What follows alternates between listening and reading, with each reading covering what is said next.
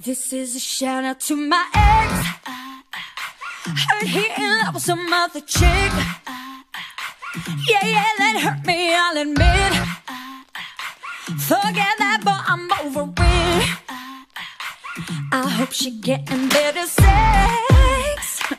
Hope she ain't picking it like I did, babe. Took so long, you said call it quits.